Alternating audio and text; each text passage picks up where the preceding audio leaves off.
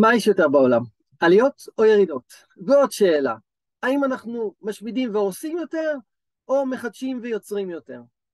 אז תקשיבו טוב, אנחנו בוודאות מחדשים ויוצרים יותר, אחרת לא היינו כאן, נכון?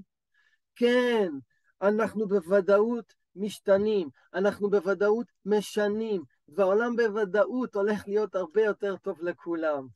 ועכשיו, מה לגבי עליות או ירידות? אתם מוזמנים לשתף בתגובות.